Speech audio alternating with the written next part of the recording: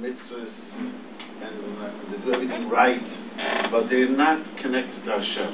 And I gave a mashal daughter of Hashem. She's married many, many years, and have a grandchild who's quite old already. But when she started dating, and I was say it was before they had email. She started dating with the fax machines. I changed the story with email. So she was 19. I asked her, what type of a chassan do you want? And I said there are two types of, uh, of chassan. One is, he, you know, you ask him the chassan, color, email the chassan a list of 10 things. 10 things she emailed him. And this chassan does everything immediately. Crosses every T, dots every I, it's efficient, it's done, it's extremely well done. But this chassan is very removed, very cold, doesn't IMS or estims her, you know, heart sending, you know, flirtations, nothing, very removed, and you know, whatever, yeah, I'll do. Nothing but extremely, but make sure she needs something, it's done immediately. Then you have another chassan, Kala emails him a list of 10 things. Somehow, two of them got deleted. I don't know how. Turned out to be eight. This computer eight only showed up. I don't know why. That's what happened. and she says to him, he tells her, you know, of the eight, two I cannot take care of. So I don't know how to do it. The other six, you wait two weeks, I'll have it done. Two weeks go by, still not done. And it's like I go shopping for my wife. It's the wrong pasta and it's the wrong ketchup. You know. it's like when the daughters go with me, I get the wrong item. This is what But he was always good morning, good evening, send her flowers, send her warmth. You know, when a girl is 19, she wants the flowers and, you know, but we as a mature know a relationship needs two things in a relationship. You need to be, do the right thing, and you gotta be warm. Imagine a guy's gonna take out his guitar all day, sing poetry to his wife, and sitting on the couch. She's gonna take the pot and bang him over the head and go get a job. oh, she's sending, you know, all day playing music. It doesn't work that way. A person needs to do the right thing, has to be responsible, and a person needs to have the warmth and the affection. What Rav Nachman induced into us is not, you know, Baruch Hashem, people keep the mitzvahs, and that's also challenging to do the mitzvahs. We have a big Sahara. But what he really, really induced is the want to be connected to Hashem. We are unfortunately very disconnected from Hashem. I mean, that's why he emphasized the greatness of talking to Hashem every day. You know, I mean, it's, I always tell tell the people it's very easy call yourself a Breslov chassid a Lubavitcher chassid. The test is, do you meditate every day? Because that, when your person talks to Hashem every day, you literally make Hashem a reality. It's, it's a real thing. It's not like, you know, out there, you feel it. This is what one of the main goals for the Menachem tribe, that we should feel. I always tell people, when you talk about loving Hashem, it's either in my shul, I have a room for bird shul, and I when I talk about loving Hashem, either I sound like a Baal Teshuva, flaky, or both. Recently someone told me you sound like Shlomo Carlebach. You know, Love, talking about loving Hashem is so removed, it's such a and it's the greatest mitzvah in the Torah is, is loving Hashem. In Shema so we say, we have the mezuzah, and it's filled because we are so removed from Hashem. So one of the great importance of Nachman wanted, we should not just be you know, we should be connected. The warmth, it's like the chassan to the kala. Mm. Chassan to the kala is not just he has to do the thing, but he has to be warm. He's got to be, you know, to be nice and affectionate. That's what you know. We get up in the morning, we don't even know why we get up.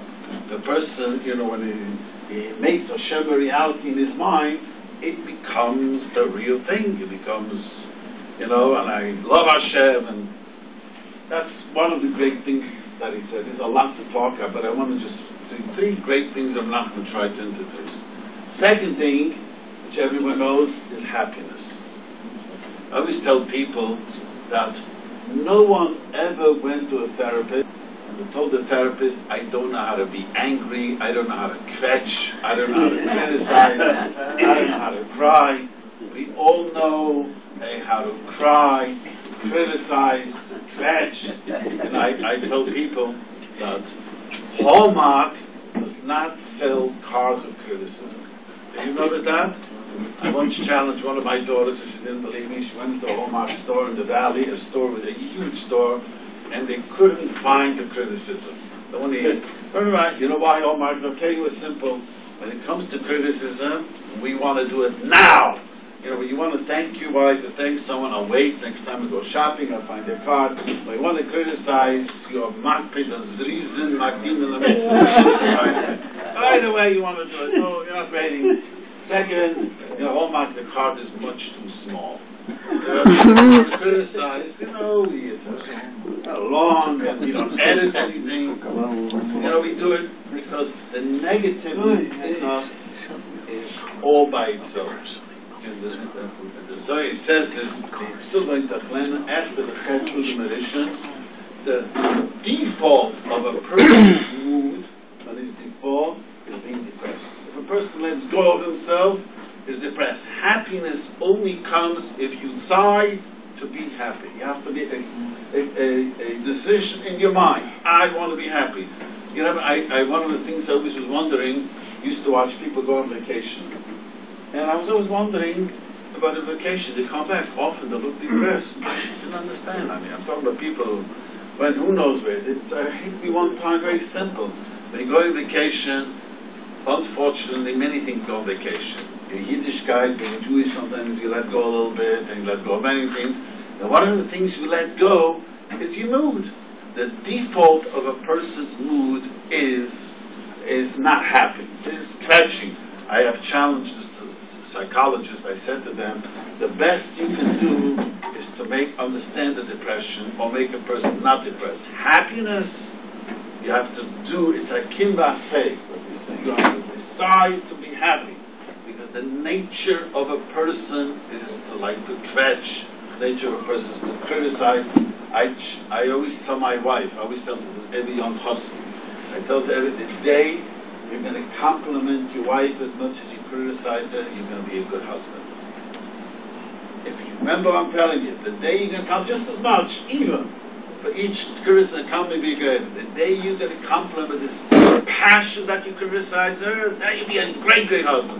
See, when we criticize, we know how to do it with a brand, with a geschmack. We say it with passion. A compliment, it was good. It was good. You don't, you don't go. I asked my, I, one time uh, my neighbor, were moved in, secular people, and uh, a young couple, and one time, the night, they were fighting. My daughter asked me, what, did you hear? How about, did you hear I said, yes. I said to her, isn't it interesting? We never heard him scream, I love you. That you never heard scream. the, the positive, the negative has such a power that the guy wasn't embarrassed of his neighbors that he was screaming. I don't know what was going, but it wasn't. The negativeness of of us is very very powerful. To, uh, to be unhappy and to criticize and not to be appreciative, that reigns the rule. The only time things change is you have to work on yourself being happy. Once you work on yourself being happy, you are more positive. That's why Rav Nachman emphasized the importance of happiness. And it's, the truth is, you'll notice that 99% of the people are unhappy for no valid reason. They'll tell you 10 reasons. You know, everyone, everyone walks around. I, I used to, when I was young, used to think to myself, when you drive down the street, most often, you know, I used to have a beat up Honda and everything. When I'm going to get a better car than this beat up Honda? You don't to go down driving and say, Baruch Hashem, I'm alive. Baruch Hashem, I'm breathing. Baruch Hashem, I have a roof over my head. See, we always are focusing what we don't have. But now your mind doesn't travel. I should dance and be happy what I have. That's not the nature. The nature is that you want more, you have money, you want the science, so what Rav Nachman taught in us always is to be happy and to enjoy that you're a Yid. One of the famous Azamra L'Elokai says, just get up in the morning and say, I am Jewish. That's a great thing. that I'm alive. And I have what, to eat. And and the, and the truth is, I want to tell you all, we are living a comfortable life. No one lived so comfortable besides Udam Rish before he was chased out of Gan Eden. But once he was chased out of the Garden of Eden, he had a hard life. We are blessed beyond our imagination. With all our gadgets. None of them had a, you know, Udam Rish didn't have iPods. And they take pictures and couldn't take the, didn't have, we are blessed, which beyond, beyond what could imagine. We catch know, about the food is not being fresh. You know, my mother says, I don't happen to be wealthy and hungry, but so there were people that most people before the war didn't know what to eat. We how much food we throw out every you know after show. We are so blessed. It is no one ever would have dreamt that a life could be so blessed.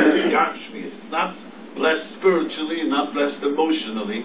And I, you know, and I always say, even people have emotional problems. It's a luxury to have emotional problems. You know why it's a luxury? When you don't have what to eat, you have no time to fetch. You have no time to say, you know, I got to speak to a therapist and cry and fetch. You're running to get your food. There's no time. We are blessed that we have time. We are living in a time which is unbelievable. And this is what we have to appreciate. That's why a person has to be happy. Happiness has nothing to do how much money in the bank, nothing to do with happiness is in yourself. If you're happy, this you must take it. Happy. This is another great, great thing that he taught us. Third thing, I mean, there's many things, want to emphasize the third thing he said, which he taught us right before he died. There's a famous sikha that he said, a lesson that he said, never give up. Never uh, and the truth is, we are, as a child of a Holocaust survivors, the only reason why Yiddishkeit is still standing so strong is my parents who survived the Holocaust didn't give up. They were Hungarians, they were not Hasidim at all.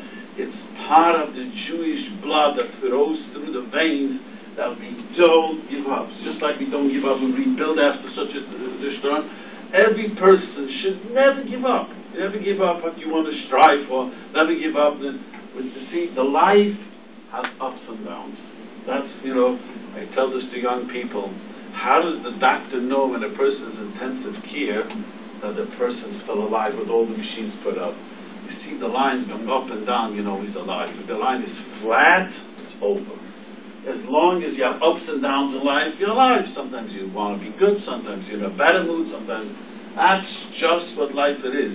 Often what we do is when we're down, we get depressed, and we say, ah, forget today or forget tomorrow. You never, that's what he says, never, ever give up.